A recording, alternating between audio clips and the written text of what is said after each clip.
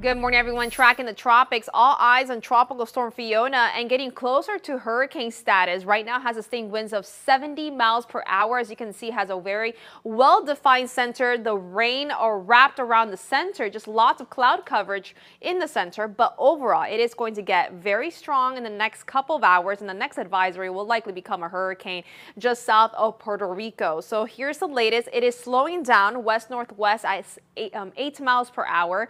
Sustained winds of 70 miles per hour and getting better organized. It will be tracking south of Puerto Rico and then making landfall near the tip of Puerto Rico and then tracking towards the west northwest near Dominican Republic as a category 1 hurricane and then close to major status on Wednesday and Thursday curving it towards the northeast close to Bermuda by the end of your work week.